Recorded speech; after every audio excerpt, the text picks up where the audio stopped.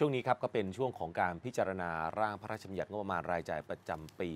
2564 นะครับรายกระทรวงซึ่งในรอบนี้นะครับก็ถึงในส่วนของกระทรวงทรัพยากรธรรมชาติและสิ่งแวดล้อม ซึ่งทางคณะกรรมการวิสามันเองครับก็ได้สอบถามถึงประเด็นการใช้จ่ายงบประมาณ ในการแก้ไขปัญหาฝุ่น PM 2.5 ด้วยครับ ผู้ช่วยศาสตราจารย์พรชัยอินสุขพร้อมด้วยนายแพทย์เอกภพเพียรพิเศษ และนายสุภดิษฐ์อากาศเลิกโฆษกคณะกรรมการวิสามันพิจารณาร่างพระราชบัญญัติงบประมาณรายจ่ายประจำปีงบประมาณ 2564 แถลงความคืบหน้าการประชุมว่า คณะกรรมการได้ใช้เวลาในการพิจารณารวม 60 ชั่วโมง จากทั้งหมด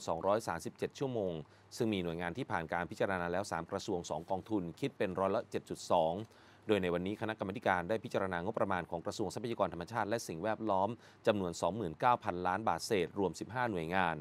ทางนี้ที่ประชุมได้สอบถามกรมควบคุมมลพิษ ถึงการแก้ปัญหาฝุ่นละอองขนาดเล็ก หรือ PM 2.5 ในประเด็นมาตรฐานของฝุ่นละอองตามเกณฑ์ที่กำหนดของประเทศไทยว่า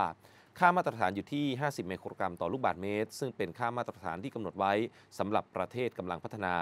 แต่ค่ามาตรฐานที่เหมาะสมควรอยู่ที่ 25ไมโครกรัมต่อลูกบาศก์เมตร รวมถึงสอบถามระยะเวลาการดำเนินงานตามแผนว่านานแค่ไหนที่จะทำให้ประเทศไทย มีค่ามาตรฐานอยู่ที่ 25 ไมโครกรัมต่อลูกบาศก์เมตรได้